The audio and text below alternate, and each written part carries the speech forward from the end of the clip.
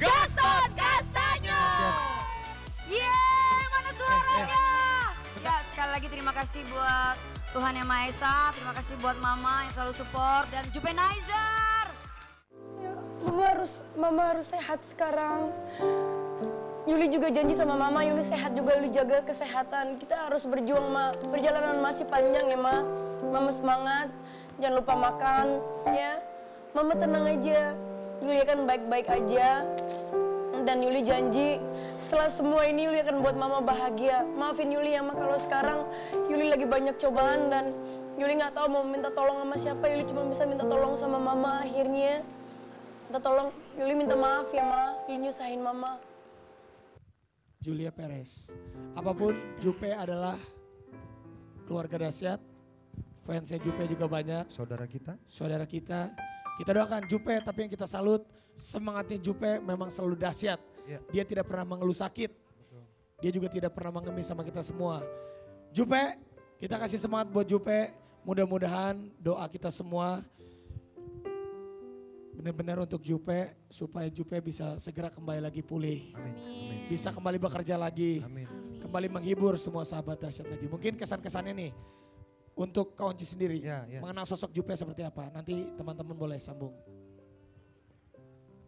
Kenal yang pasti baru sekali waktu itu ketemu dan eh, ngobrol-ngobrol di satu acara itu aja dari situ aja Teteh Jupe udah apa namanya ya eh, luwes eh, ketahuan banget orangnya ramah dia dia dia apa ya lucu juga ya saya sih sampai saat ini cuma tahu sejauh itu Mungkin kalau teman. Kang Roman, Kang Waki sama Kak Enda mungkin mau Kalau gua eh, mungkin ya nggak kenal akrab ya, tapi sering sering ngeliat gitu temen ya lihat orangnya emang ramah dan pokoknya ceria banget gitu lah.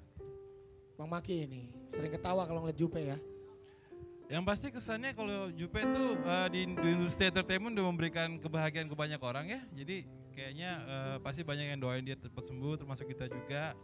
Yang paling penting sekarang yang penting dia sembuh dulu deh. Yang jenguk tuh banyak banget, yang doain juga banyak banget. Pasti insya Allah. Mungkin Kak Enda gimana Kak Enda?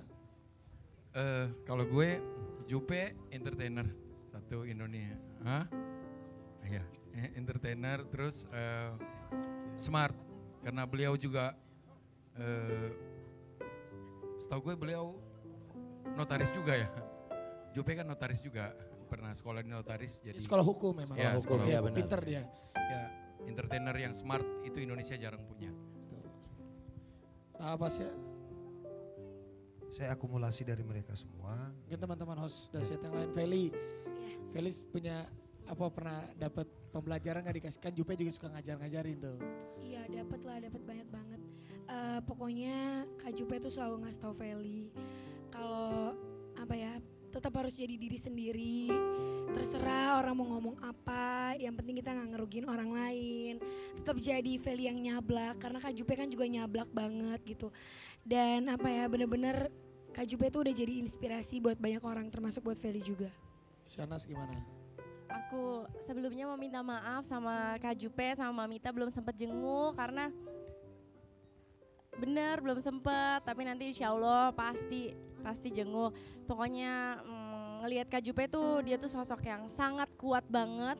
Waktu itu terakhir ketemu di salah satu acara di situ Kak Jupe nggak ngeluh sakit sama sekali, selalu tetap semangat.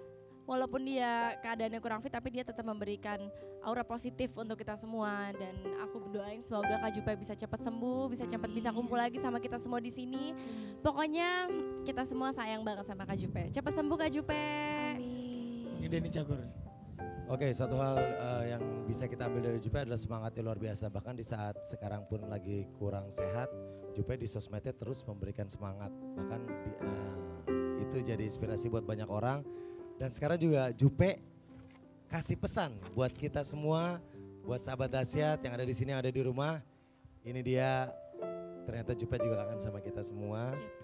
Kita akan lihat pesan dari Jupe buat Sahabat semua yang nonton sekarang. Ini dia, Julia Perez.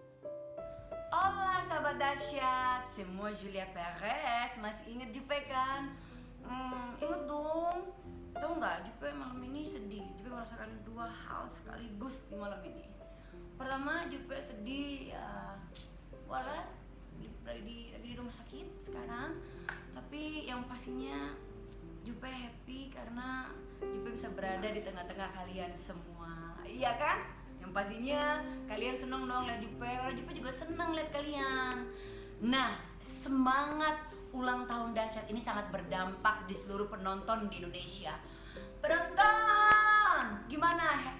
Bagus kan ulang tahun dahsyat? Bagus. Karena efek tersebutlah sekarang Jupe juga jadi happy. Jadi efek positifnya eh, sahabat dahsyat semua para nonton yang di rumah juga nonton happy, Jupe juga happy. Nah dengan keadaan seperti ini Jupe tetap semangat. Dahsyat ulang tahun yang ke-9 Love you sahabat dahsyat. Senang bisa berada di menjadi keluarga besar sahabat dahsyat. I'm so happy. Wow, 9 tahun dahsyat. I love you. I love you dahsyat. Happy birthday 9 years. I love you to Jupe. Cepat sembuh. Kita doakan untuk Jupe. Kita kasih semangat untuk Jupe apa pun. Jupe adalah entertainer yang hebat. Dia bisa bernyanyi, dia bisa menari, dia bisa berakting. Kita memberikan apresiasi yang paling tinggi untuk Jupe. Kita tunggu lagi. Jupe, pintu dahsyat selalu terbuka untuk Julia Perez. Cepat sembuh kawan. Oke ya, masih banyak seruan di ulang tahun Dasyat yang ke-9. Nanti kita balik lagi tetap bareng kita hanya di Dasyat.